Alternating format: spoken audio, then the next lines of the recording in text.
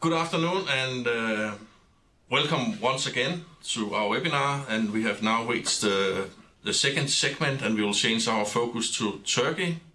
And as stated before, please start typing the questions as soon as the presentation starts. There's a slight delay from when you type your questions till I can read them on the screen, so please start typing. Also, uh, thank you for being active with questions as before. Hopefully, that will continue after this presentation. And now it's my great pleasure to leave the floor for you, Svend, Danish Ambassador to Turkey.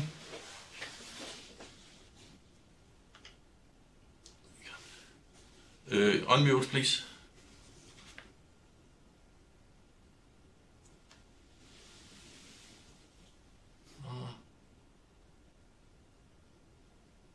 We can't hear anything.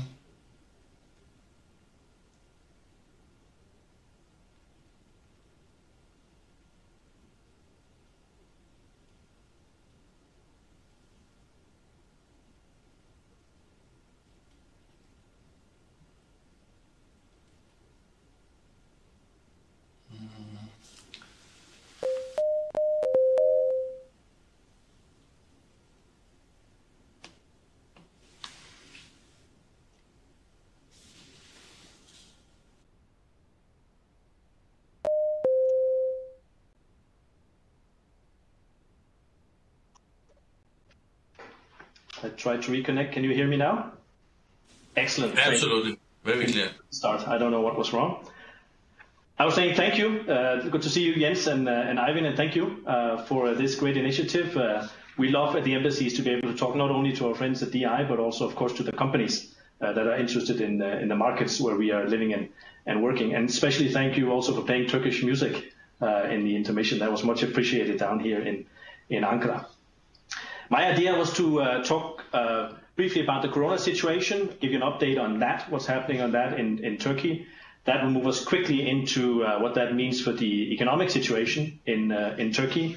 And then I would like to, towards the end, to give a few pointers of what I think we should watch for in the third, fourth quarter, as we see how Turkey is able to handle the situation, what would be particularly relevant factors to look out for when we are judging the Turkish market. First of all, on the corona situation. Um, when we talk to our Turkish friends about this or that issue in this wonderful but troubled country, uh, on migration, on economy, and other things, they will often look at us and they will say, "Yes, yes, but don't you think we are doing pretty well, uh, considering the neighborhood we're in?" Turkey is a country bordering Syria, Iraq, Iran, Greece, uh, even Russia. Uh, so it is a troubled uh, neighborhood, and this is the same story when we talk about corona. Corona is a big issue for Turkey. They're suffering at the moment. I'll give you some numbers. Uh, but when you consider the fact that Turkey is bordering Southern Europe and bordering Iran and countries with very very weak health sectors, namely Iraq and Syria at the at the moment, you could also argue that they're doing pretty well for the situation. Uh, you should add to that also that uh, Turkey is struggling with uh, no no less than 4 million refugees and migrants in the country, which also makes the situation even more difficult to deal with. What happened in Turkey was that they were surprisingly hit later than many neighboring countries, later than Europe and later than Iran. Only on the 10th of March did they register the first corona case in Turkey. So they were hit hard but late. After that, however, we saw some of the fastest rise in the world uh, in the number of new cases coming in to Turkey. Uh, currently, Turkey is the eighth uh, in the world with 127,000 confirmed corona cases. It places it just after Russia in seventh place. Next is Turkey with 127,000. 3,400 deaths is the current number. So it's serious and it's it's big. They are earlier in the curve also than many European countries, including Denmark. The timing is very bad for Turkey. Turkey was just coming out of recession in 2019. They have been since 2016, when the economy has been in dire straits, they have been turning all handles to keep the economy afloat. They've been using liquidity, all sorts of instruments, uh, to avoid that the voters in the number of elections they had since 2016 would feel the worst of the consequences. They've been giving tax breaks, cutting, cutting interest rates, reducing reserve requirements. They've even been raiding the state accounts uh, with central banks and other places, using the assets, whatever they had, to uh, up the situation. Um, but since they have been tough on, on this, uh, they, uh, they, they, they were also early in imposing measures. And there's been basically two waves. The first one was just a few days after the first uh, uh, corona case was registered. And the second wave was at the beginning of the Ramadan two weeks ago. Many of the things are like what we've seen in Denmark and in other countries. They've been closing schools, universities, shopping malls, restaurants, but they've also been using uh, curfews and so forth.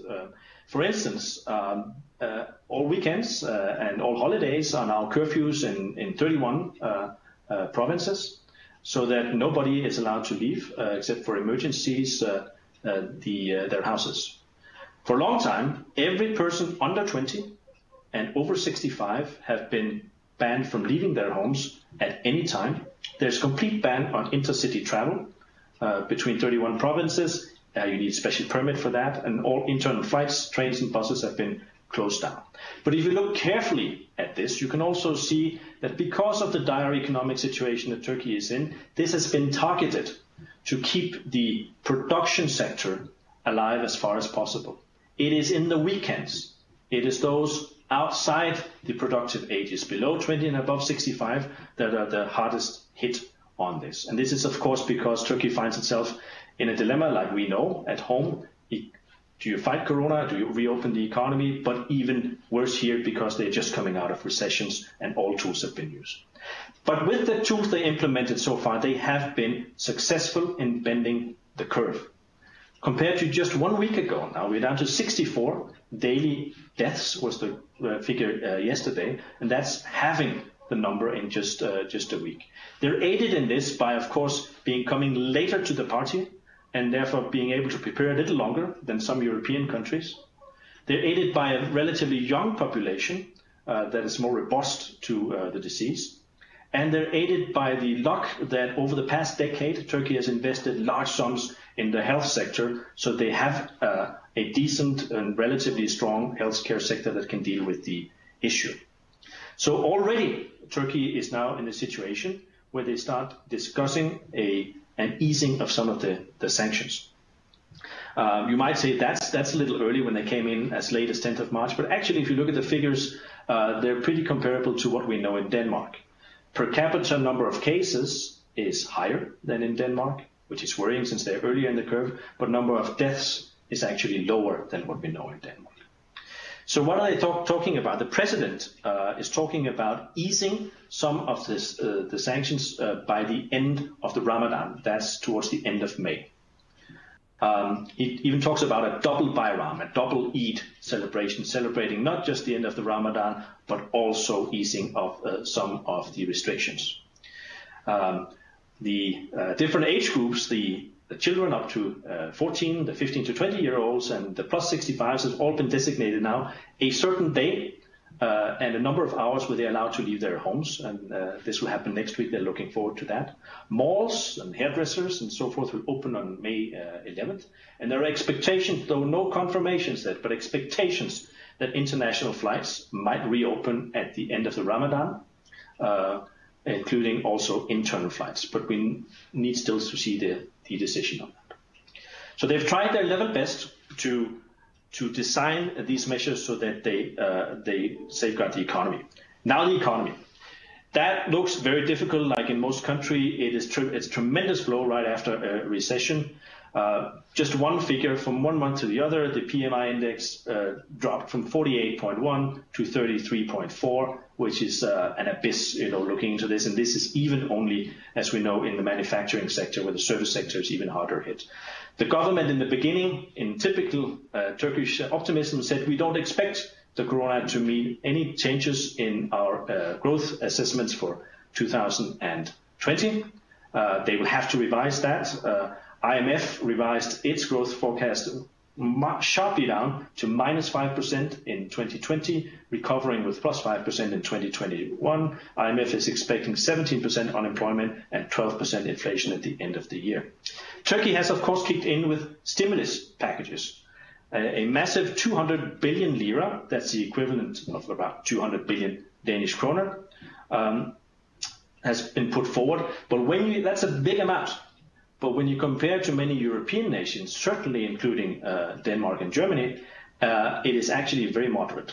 200 uh, billion lira is about half of what Denmark is spending on uh, on stimulus packages and trying to keep the economy afloat, or the equivalent of about 4% of the Turkish uh, GDP, or in terms of lira or krona per capita, about one thirtieth of the amount that the Danish government is spending.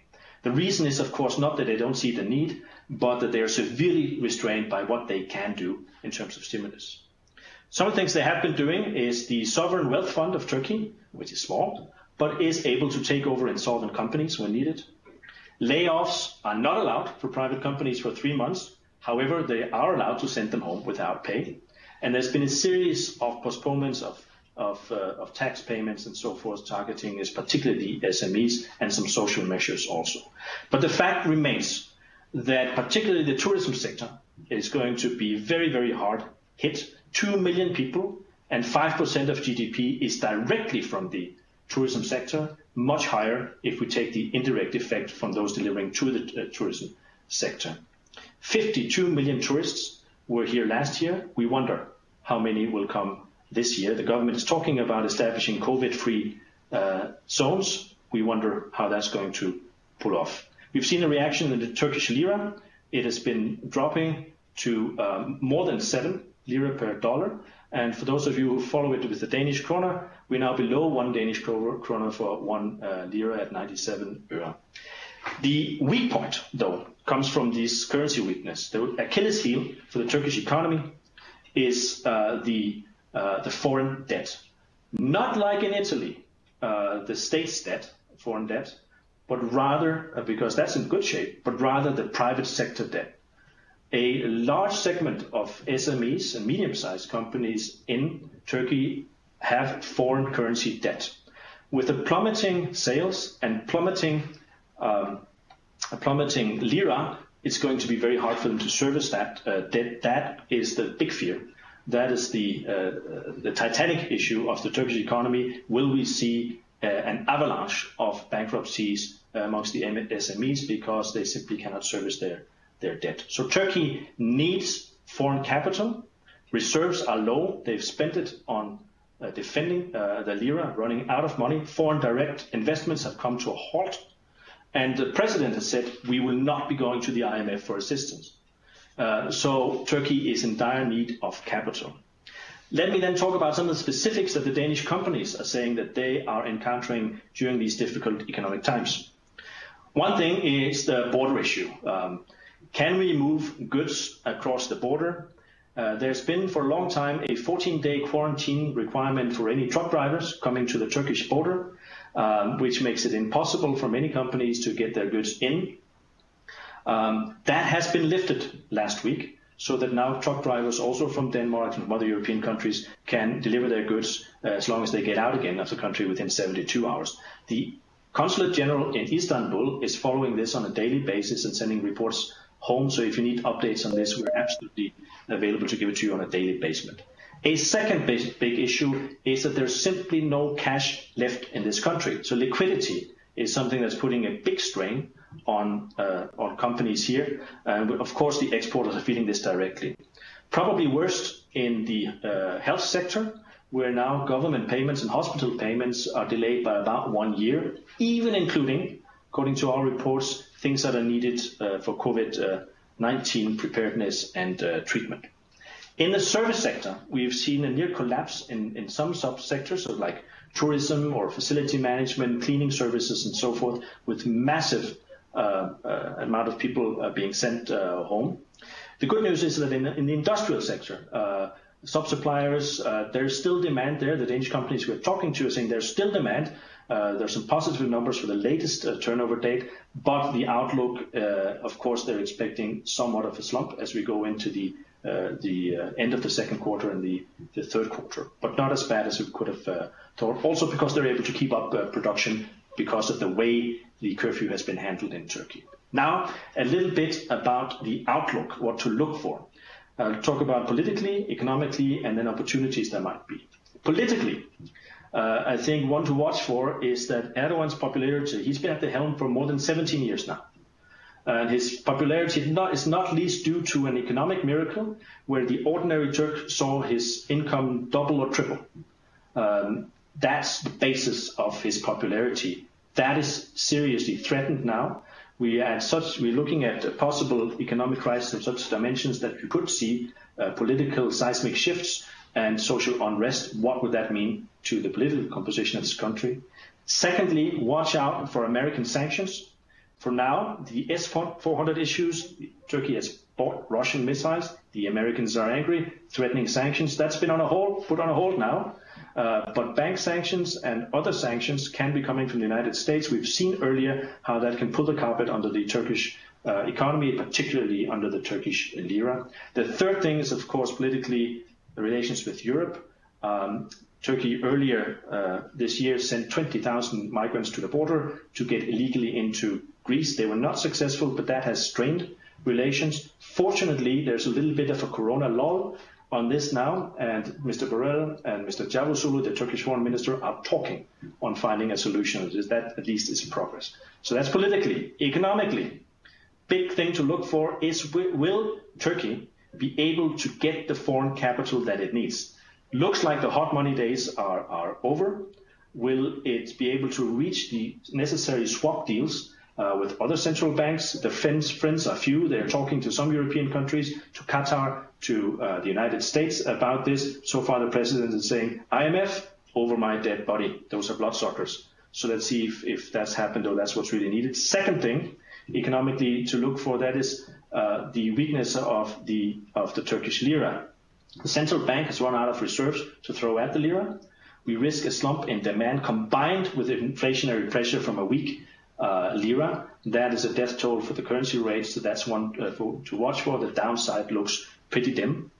But finally, to press on with a little bit of positive news, there are also opportunities in, Turkey. This is widely exaggerated by the Turkish government, but it's still uh, real. One is we talk about a localization trend uh, for manufacturing uh, and sort of reversing the globalization a little bit. If that happens, for European companies, Turkey would offer itself as a very attractive place uh, could be a winner in the mid term, building on a weak lira.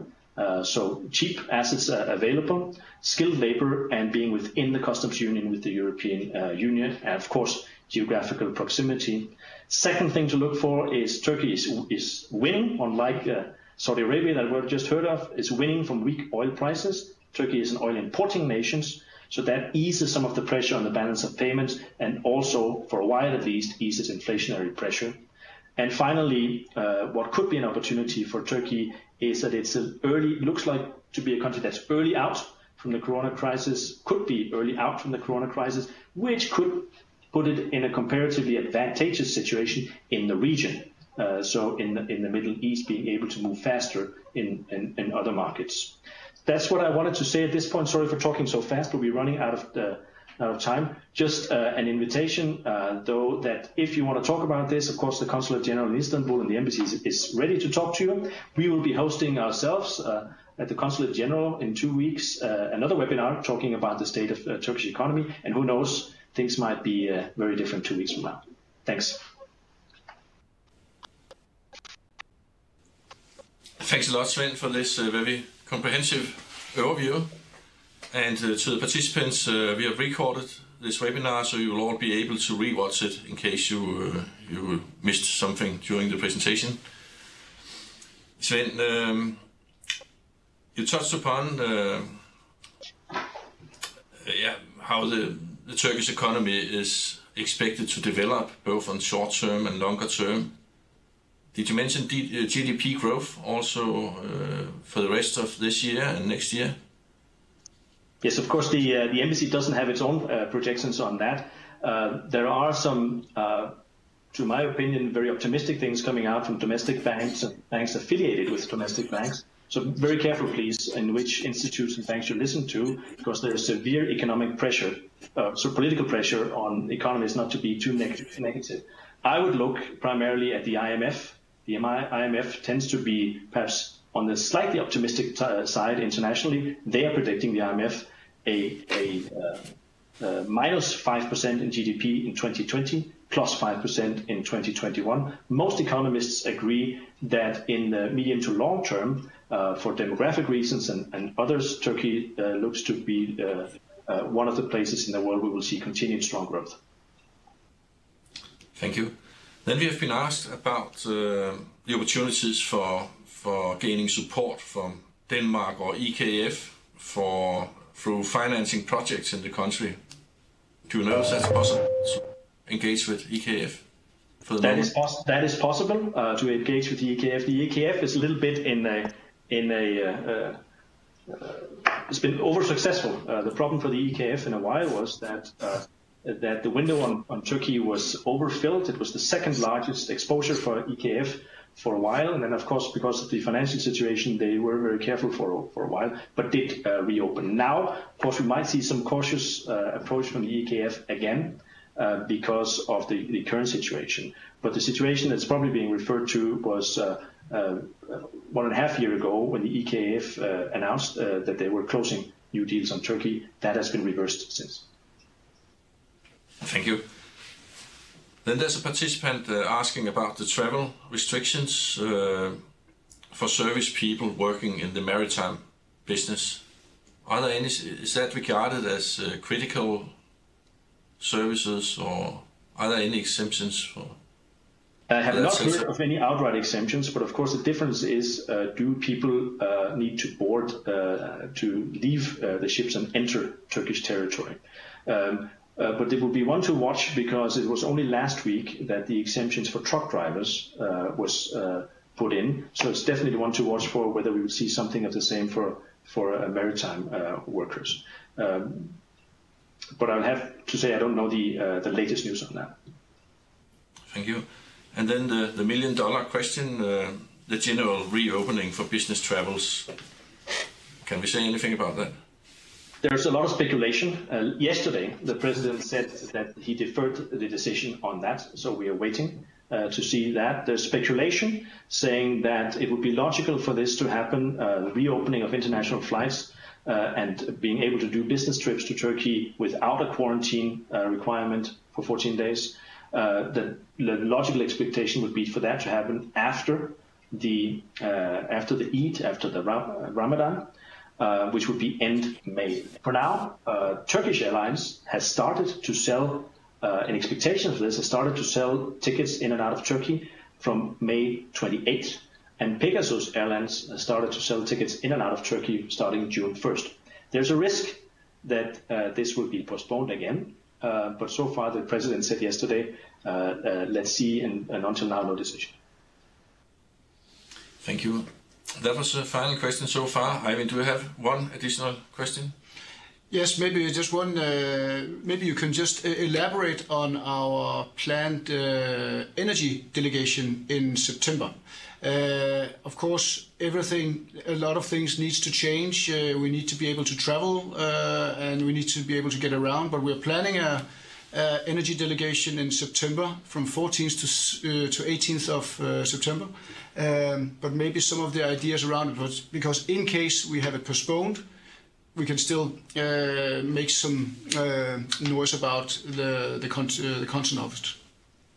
Once we get to uh, September, my expectation is definitely uh, that we will be able to do business delegations once we reach uh, September. There's a degree of uncertainty around this, like there is in every country on the world. The governments are watching and deciding last moment how they can lift restrictions. My expectations would be that that would be possible, either because there's been a general lifting of restrictions or because specifically to keep the economy afloat, business delegations are allowed.